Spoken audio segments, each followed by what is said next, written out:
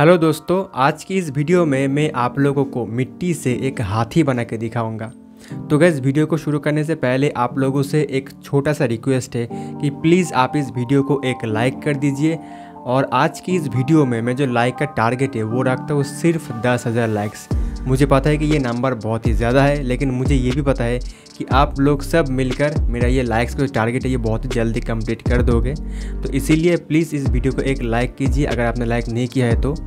और अगर लाइक दस हज़ार लाइक हो भी गया है ना, तब भी प्लीज़ एक लाइक कर दीजिएगा और इस चैनल को भी सब्सक्राइब कर दीजिएगा, ठीक है, अगर आपने सब्सक्राइब नहीं किया है तो। क्योंकि गैस 95 परसेंट लोग मेरी वीडियोस को देखते हैं, लेकिन सब्सक्राइब नहीं करते तो ये मुझे बहुत ही बुरा लगता है। तो इसीलिए प्लीज़ मेरे इस चैनल को सब्सक्राइब कर दीजिए और मेरे इस चैनल को वन मिलियन तक पहुँचा दीजिए। तो गैस चलिए अभी हम स्टेप बाय स्टेप जो मिट्टी का हाथी बनाना है, वो हम सीखते हैं। तो गैस देखिए, अभी हमने जो एक स्ट्रक्चर लिया था, वो था एक लकड़ी के ऊपर मैंने चार लोहे का किल लगाया था।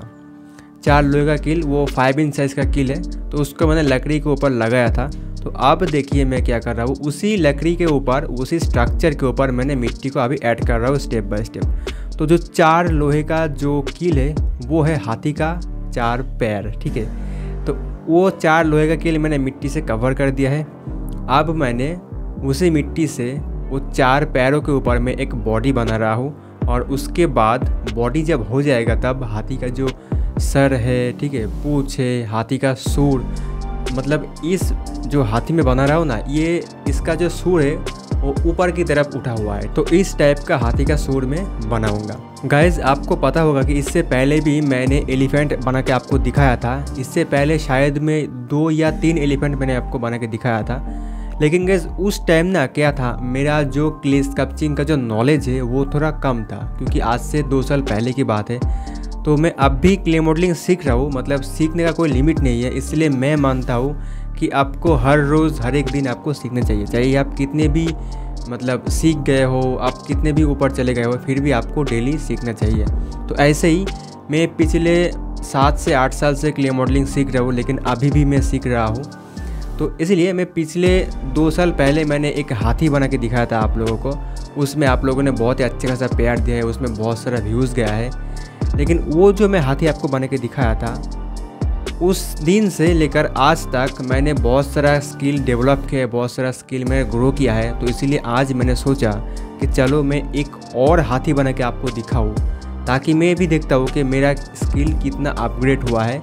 क्योंकि मैं, अब मैं एक कंपेयर कर पाऊँगा कि पिछले जो मैं हाथी बनाया था, वो कैसा हुआ था, और आज जो मैं हाथी बनाऊँगा, वो कैसा होगा।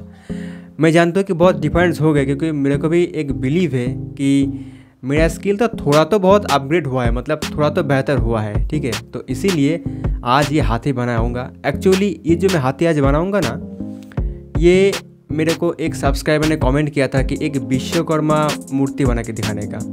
तो अब विश्वकर्मा मूर्ति के पीछे तो हाथी होता है, ठीक है?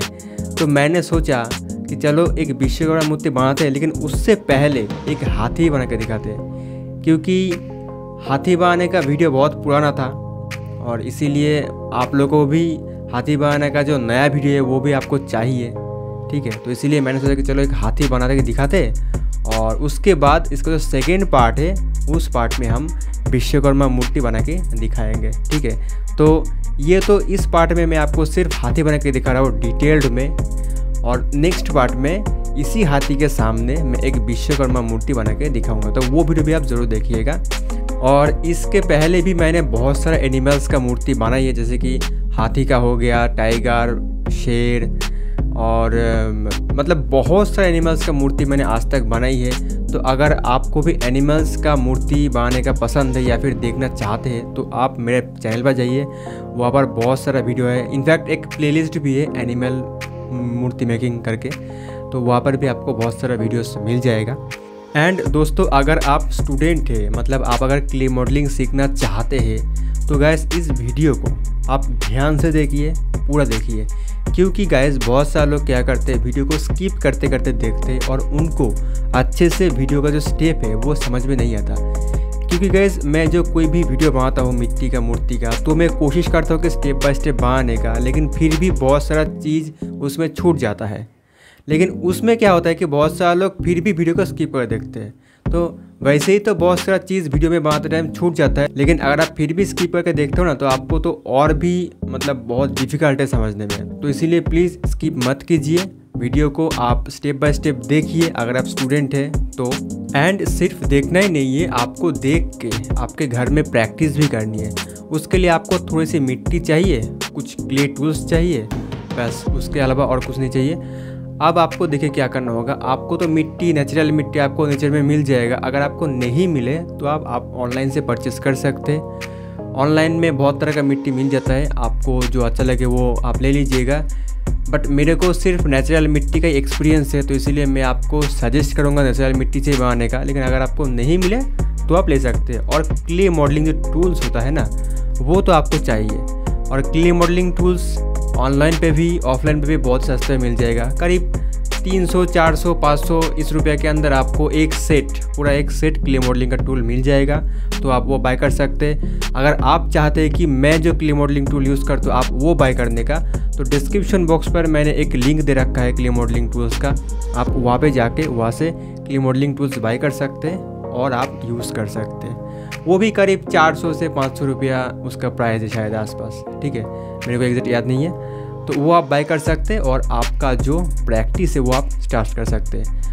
और गाइस आपने तो मिट्टी ले लिया क्ले मॉडलिंग टूल्स भी ले लिया। अब आपको डेली प्रैक्टिस करना है। डेली कुछ ना कुछ तो प्रैक्टिस करना ही है। हाँ वीडियोस देखनी है, उसको समझनी है और प्रैक्टिस करनी है। तो गाइस जैसे कि अभी आप लोग इस वीडियो में देख रहा है कि मैंने लगभग हाथी का जो स्ट्रक्चर है, जैसे कि मेज़रमेंट है, वो मैंने लगभग ला दिया। तो अब मैं क्या करूँगा? धीरे धीरे हाथी का जो डिटेलिंग है, जैसा कि हाथी का एक एक मसल एक एक जैसे कि डिटेलिंग होता है, वो मैं करूँगा और उसके बाद धीरे धीरे उसको क्लीनिंग करूँगा फिनिशिंग करूँगा। तो ये मैं स्टेप बाय स्टेप करते जाऊँगा। तो आप भी देखते रहिए मैं किस तरह से करूँगा। तो गैस अभी देखिए, जैसे कि मैं अभी जो मूर्ति में जो प्रोसेस कर रहा हूँ ना, इसको कहते हैं क्लीनिंग प्रोसेस क्लीनिंग प्रोसेस मतलब मूर्ति के ऊपर अब जब उंगली से ऐसे रगड़ते हो, थोड़ा सा आपको पहले पानी देना पड़ेगा ताकि आपका उंगली है वो अच्छे से फिसल जाए. और जैसे आपको उंगली अच्छे से फिसलेगा ना तो वो क्या होगा? आपका जो मूर्ति है वो क्लीनिंग हो जाएगा. मतलब अच्छे से क्लीन हो जाएगा. तो कुछ इस तरीके से आपको क्लीन करना है. अब धीरे धीरे जब क्लीन हो जाएगा एक बार क्लीन होने के बाद आपको क्या करना होगा? डिटेलिंग करना होगा। ओके डिटेलिंग मतलब क्या है? जैसे कि देखिए, आँख हो गया।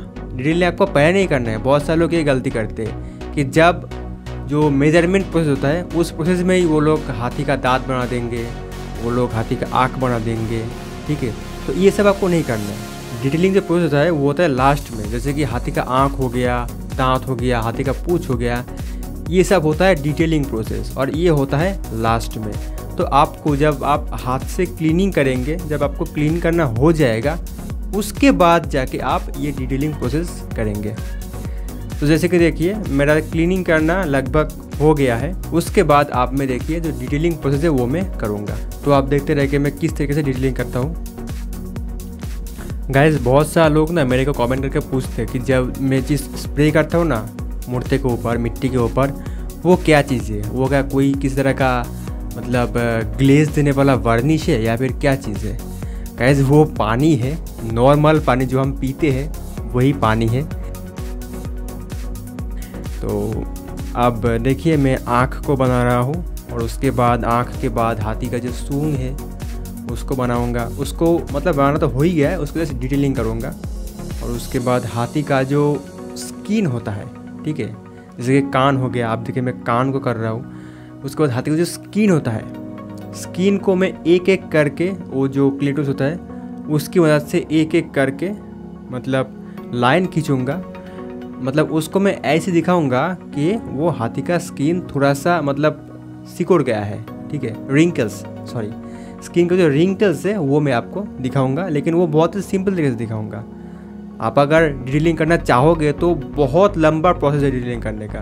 तो हम उतना देर नहीं जाएँगे, हम सिंपल तरीके से करेंगे। बस मतलब जो क्ले टूल्स होता है, उससे जस्ट ऐसे लाइन खींच देंगे और उसके बाद उसके ऊपर जब हम पानी से ब्रश कर देंगे, तब रिंकल्स हो जाएगा। तो वो मैं कैसे करूँगा वो मैं आपको दिखाऊँगा। तो अभी देखिए मैं हाथी का जो दांत है वो मैं लगा रहा हूँ। तो इसके बाद मैं स्किन का रिंकल्स करूँगा। एंड फिर उसका ब्रश करूँगा। तो ये हो गया पूछ। एंड अब मैं पूछ के बाद हम जाए। अब तो ये देखिए, ये है स्किन का रिंकल्स तो आप देख रहे हैं कि मैं किस तरीके से, बहुत सिंपल तरीके से मैं जस्ट ओनली लाइन खींच रहा हूँ। अब लाइन खींचने के बाद थोड़ा सा ऐसा लगे थोड़ा सा गंदा हो गया। मतलब अभी तो पहले ठीक था, जब हमने डिटेलिंग किया सॉरी क्लीनिंग किया। अब मैं ये क्या कर दिया? लेकिन हाथी का स्किन तो वैसा एकदम स्मूथ नहीं होता ना। हाथी का स्किन थोड़ा सा रिंकल्स टाइप का होता है। तो इसीलिए मैंने ये कर दिया। अब नाखून भी कर रहा हूँ। नाखून करने के बाद देखे थोड़ा सा मैंने अभी मैंने देखे पानी स्प्रे कर रहा हूँ, ठीक है? तो पानी स्प्रे करने के बाद अब देखिए मैं ब्रश से डिटेलिंग कर रहा हूँ। तो डिटेलिंग मैंने जब कर दिया सॉरी ब्रश से मैं वो क्लीनिंग कर रहा हूँ। तो जब क्लीनिंग हो जाएगा, तब हमारा जो हाथी बनाना वो कंप्लीट हो जाएगा, ठीक है? तो ये देखिए ब्रशिंग करना हो गया। तो गैस आई होप आप सबको आज की ये जो हाथी बनाने का जो प्रोसेस है, ये आप लोगों को बहुत ही अच्छा लगा। अच्छा लगा तो प्लीज़ गैस इस वीडियो को एक लाइक कर दीजिए और इस वीडियो में जो दस हज़ार लाइक का जो टारगेट है, वो प्लीज़ कंप्लीट कर दीजिए और चैनल को भी सब्सक्राइब कर दीजिए। और हाँ मेरा एक ब्लॉग चैनल है, आप उसको भी सब्सक्राइब कर दीजिए। लिंक आपको डिस्क्रिप्शन बॉक्स पर मिल जाएगा। तो गैस आज के लिए बस इतना ही। मिलते हैं आप लोगों से एक और नया क्लेस कैप्चिंग वीडियो में।